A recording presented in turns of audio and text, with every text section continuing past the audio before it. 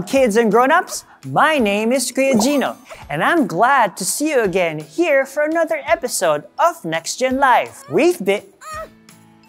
What's that? There's something... Oh, Curious Box! You're here! Okay, I'm sensing an angry vibe from you. I'm so sorry, Curious Box. I didn't mean to leave you out. I really didn't know you'd be joining me today. Will you please forgive me? Thank you. You know, I'm really glad that you're here with me today. Because today, we are going on on an adventure. Right here. We're not going anywhere, Curious Box. We're gonna have our very own camping adventure right here. No pandemic or quarantine can stop us. Because we still have our imagination. So kids, can we go now? Well, before we go to any kind of adventure, we must pray first. Let's bow down our heads, put our hands together, close our eyes, and talk to God from our hearts. Dear God, thank you for our gathering today and for our camping adventure. Help us, Lord, to learn and have fun while discussing your word. Holy Spirit, please guide us in our adventure so we can all be safe and we can all worship you. In Jesus' name we pray, Amen.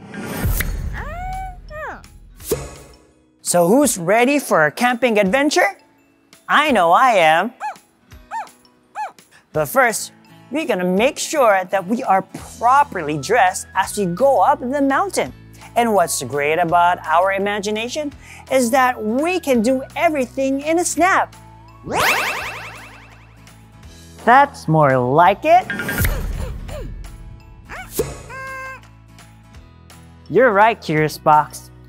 We need to bring our Bibles with us wherever we go. Okay, everybody, let's stand up and follow me. And Curious Box, let's hike up to the mountain on the way to our campsite. Are you ready? Are you guys ready? Here we go. Hut, two, three, four. Hut, two, three, four. Hut, two, three, four. Hut, two, three, four. No, we're not there yet. Look, there's a bridge that we need to cross. Be careful. Hut, two, three, four. Hut, two, three, four. Hut, two, three, four, and stop. Whew. Well, this looks like a good place to stop. Let's build our campsite here. Whoa, oh, it's cold up here in the mountain. Hey, do you know what's my favorite part in camping is? Ah. Yes, it's toasting marshmallows over a campfire, like this. Ah, that's more like it. Now we can sit down and keep warm. Oh, be careful, Curious Box. Don't get close to the fire. You might get burned. Oh yes, Curious Box. Sitting by the campfire is the best time for storytelling. In fact, I have a story about two brothers that I've been meaning to share with you today. Let's get our Bibles out. Are you kids ready to hear our story today? Remember, stay seated on your warm and cozy spot. Obey, watch, and listen.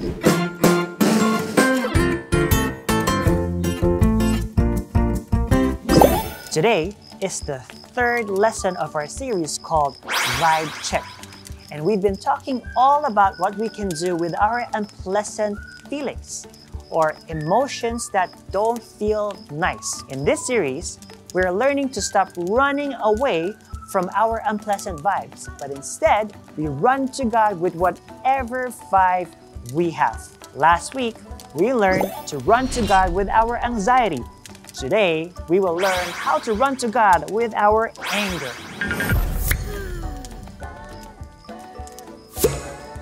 Let's open our Bibles to Genesis chapter 4. Our story today is about two brothers named Cain and Abel. They are the sons of Adam and Eve. Cain was a farmer who grew vegetables, while Abel was a shepherd who took care of sheep.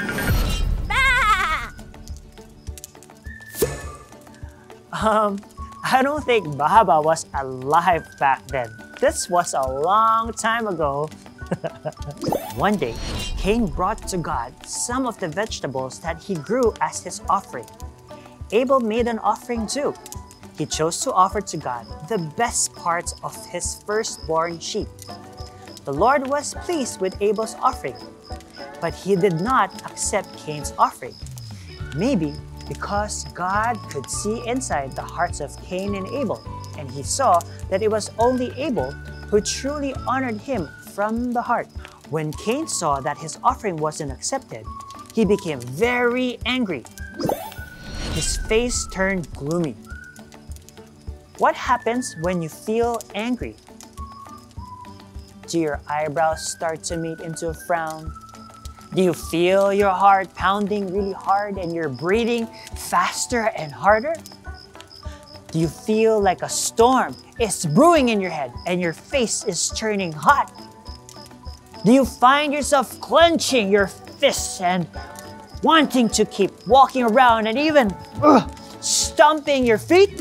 Well, God saw how Cain was feeling and he said to him, Why are you angry? Why is your face gloomy? Yes, Curious Box? Oh, God definitely knows everything. God asked Cain these questions to help him do a number one, vibe check, to be aware that he's starting to have an unpleasant emotion.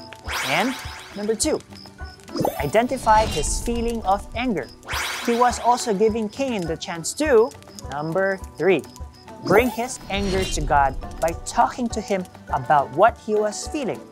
And to help Cain think carefully about what he was going to do with his anger, God warned him If you do good, I will accept you. But if you do not do good, sin is ready to attack you. Sin wants you, but you must rule over it.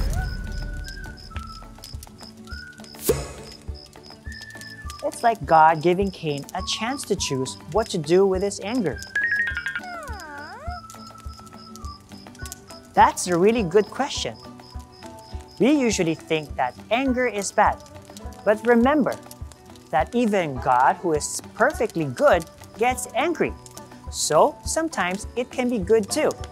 There are two kinds of anger righteous anger and sinful anger. Anger is like this fire that we have here. Fire can be useful or helpful when it helps us keep warm, helps us cook our favorite food or roast yummy marshmallows, right? Fire also brings light. It helps us see in the dark. But fire can also be harmful and hurtful. It can spread and burn houses, kill our trees, and hurt people. Mm. In summary, righteous anger is helpful and useful. It's coming from a place of love and care. Like when God gets angry of our sins. Or when someone hurts our mom or dad, we get angry. Sinful anger is hurtful and harmful. It's coming from a place of pride and selfishness like when someone does not admit his wrong, or when someone gets suddenly angry if his time is not being followed. We need to be very careful not to let sinful anger take over our hearts, just like what God said to Cain. Sin wants us, and we must try to take control of it.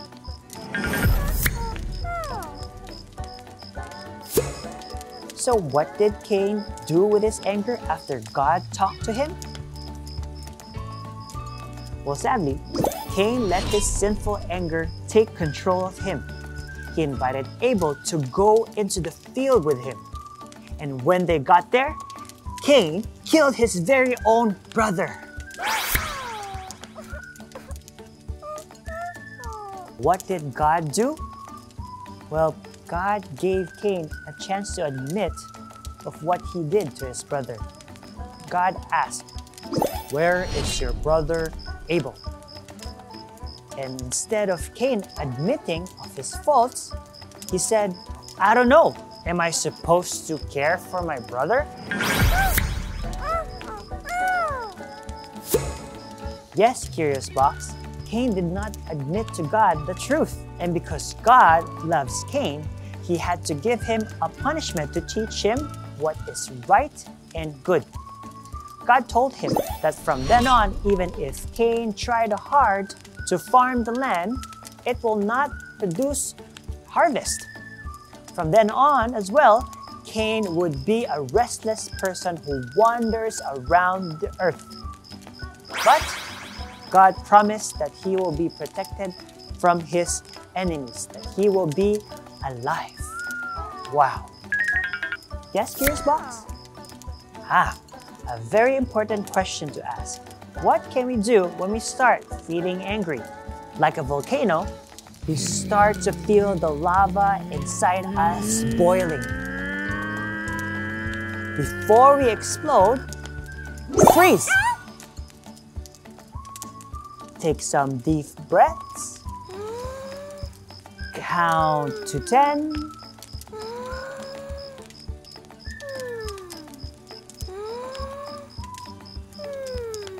And then remember, what's the first thing we do again when we have unpleasant vibes? Yes, we run to God with our vibe, or V-I-B-E. Letter V, Vibe check. Ask God to help you check your heart.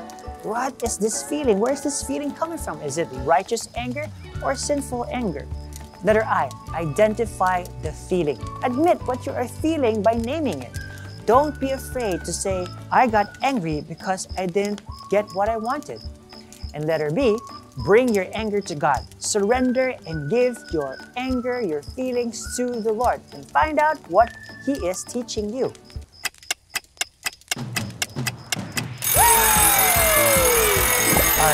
Verse today teaches us what to do with our anger. Ephesians chapter 4 verses 26 to 27. In your anger, do not sin.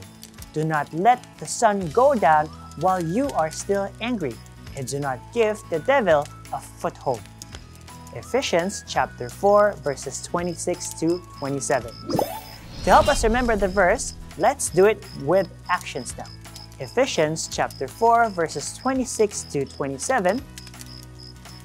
In your anger, do not sin, and do not let the sun go down while you are still angry, and do not give the devil a foothold. Ephesians chapter 4 verses 26 to 27. How do we stop the sun from going down while we're angry? Oh, the Bible isn't telling us to stop the sun from setting when we're angry. God is actually teaching us in our memory verse not to keep our anger, not to let anger linger in our hearts. So we need to take control over it.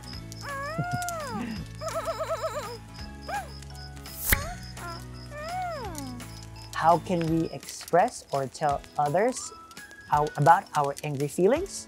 Well, Curious Box, I'm so glad that you asked that. Here in Vibe Check series, we said it's important to talk about the unpleasant feelings that we have. It's the same with our anger, but we want to talk about our anger in the right way so that we do not sin. We don't want to explode like a volcano and spread wildfire around us and burn the people, right? the Bible also teaches us to speak truth in love. Here's a quick tip on how to do that. Instead of telling others their faults, talk about your feelings about their actions. For example, do not say, hmm, you're so unfair. Instead of saying that, you can say something like this I feel angry when you don't give me my turn. Or instead of saying, You're so selfish, you can say something like this I feel upset because you don't listen to me. Now let's try that. Think of something that made you mad lately. Now, let's practice saying how you feel and the action that made you angry. I feel when Great!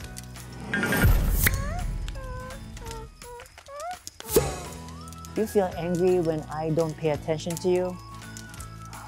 Thank you, Curious Box, for telling me how you feel.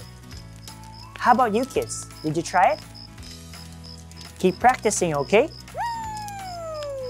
So let's see.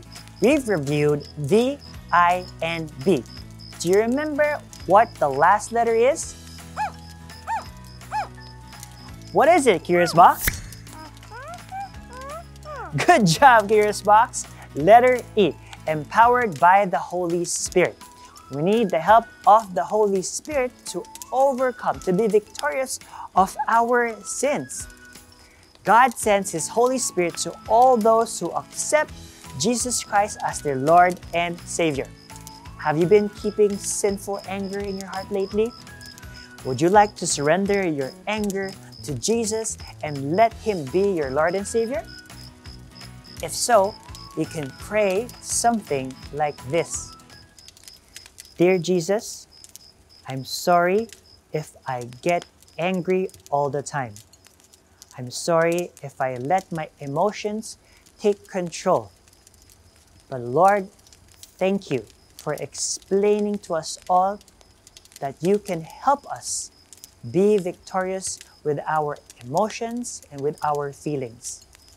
Forgive us, Lord, for making our emotions first than you. Right now, we open our hearts and our minds. We accept you as our Lord and our Savior. And from now on, we will let the Holy Spirit take control of our lives and not our emotions anymore. Thank you, Jesus, for saving us. In Jesus' mighty name we pray. Amen and amen.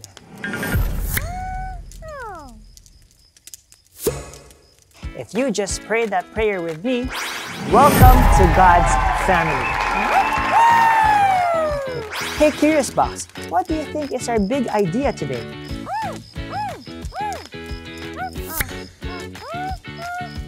That's right.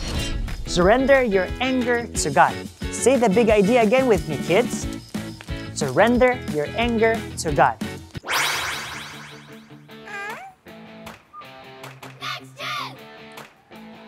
Oh, that means it's the end of our lesson today.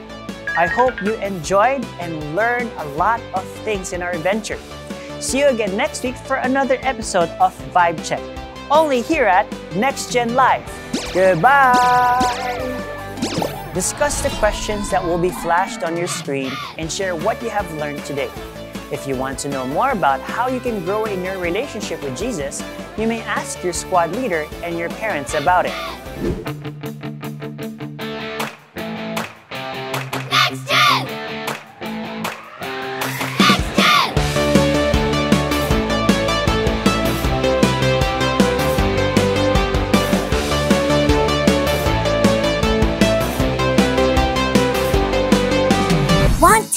Part of a next gen small group via Zoom? If you are 7 to 12 years old, you can be part of an online squad or small group by registering on the link in the description or scanning this QR code. Hope to see you there!